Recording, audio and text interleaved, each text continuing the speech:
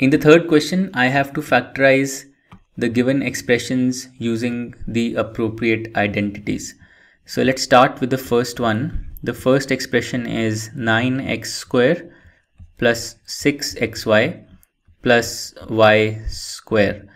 Now let's uh, observe that 9x square is the square of 3x and y square is the square of y and 6xy can actually be thought of as 2 times 3x times y. So I can write this first expression as 3x whole square plus 2 times 3x times y plus y square. So this is of the form a square plus 2ab plus b square. So this will be a plus b whole square or 3x plus y whole square. So this is the factored form of this expression 3x plus y times 3x plus y uh, is the factored form of the first expression. Now let's go to the second part. The second part is 4y square minus 4y plus 1. So in this case, I can think of 4y square as the square of 2y. 1 is the square of 1 and minus 4y I can write this as minus 2 times 2y times 1.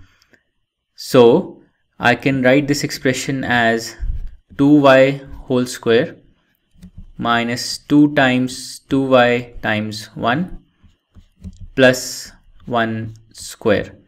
So this is of the form a square minus 2ab plus b square. So this will be a minus b whole square.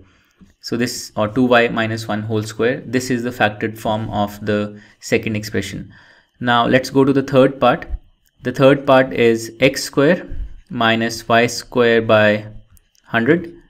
Now x square is the square of x and y square by 100 is the square of y by 10.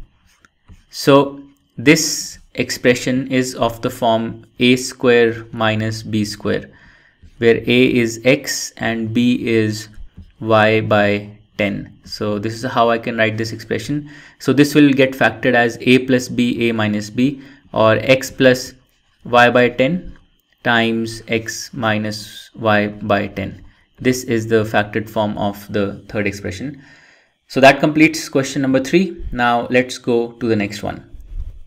To learn more about how Cuemath can help you crack school and board exams, explore Cuemath Leap, a live online classroom program run by highly experienced and committed teachers.